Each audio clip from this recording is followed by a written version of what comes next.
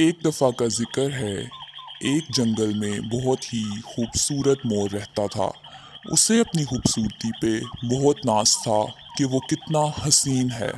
उसकी दो बड़ी बड़ी आँखें थीं और उसके पर बहुत ही खूबसूरत और रंगीन थे।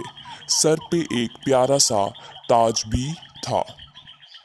मोर के घर के करीब एक कौवा भी रहता था, जो कि मोर को बहुत पसंद करता था और उससे दोस्ती करना चाहता था। मोर भैया, आप कितने खूबसूरत हैं। क्या आप मेरे दोस्त बनेंगे? कवे, तुमने ये सोच भी कैसे लिया? तुम और मैं दोस्त? क्या तुमने अपने आप को नहीं देखा? तुम कितने काले हो। कवे ने कहा, आप ऐसी सोच रखते हैं? मैंने नहीं सोचा था।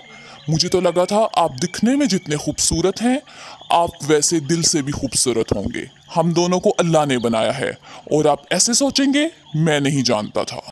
काले और गोरे से कुछ नहीं होता, आपको एक दिन ज़रूर एहसास होगा, मुझे यकीन है। एक दिन मौसम बहुत खूबसूरत था, और मोर ने कहा, क्यों ना जंगल की सैर को जाया जाए। वो जंगल की सैर कर रहा था, और बहुत खुश था।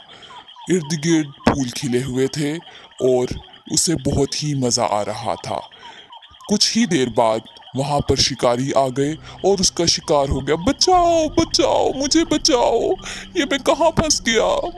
मुझे बचाओ, मैं यहाँ से निकलना चाहता हूँ। कोई है? कोई मेरी मदद करे। कोई है? लेकिन उसकी आवाज़ सुनकर कोई भी वहाँ पर ना आया और उसका शिकार हो गया। वो बहुत परेशान था, जाल में फंस चुका था। लेकिन कुछ देर बाद वहाँ से कवि का गुजर हुआ और कवि ने मोर को जाल में फंसा देखा। अरे, मोर भैया, आप जाल में कैसे फंस गए? आ गए।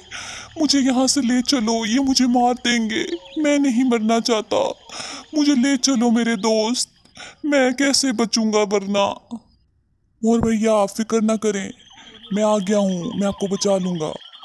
कव्वे मेरे दोस्त, तुमने मेरी जान बचा ली। मैं कितना गलत था। खूबसूरती ही सब कुछ नहीं होती। दिल का अच्छा होना भी बहुत कुछ है। भैया, आपको अपनी गलती का एहसास हो गया। मेरे लिए यही काफ़ी है। आप ऐसे मत रोएँ। आज से आप और मैं दोस्त हैं। इस कहानी से हमें ये सबक हासिल होता है कि काले और गोरे से कुछ नहीं होता। दिल का खूबसूरत होना ही सब कुछ है। अल्लाह ताला ने सबको बनाया है सब बहुत खूबसूरत हैं।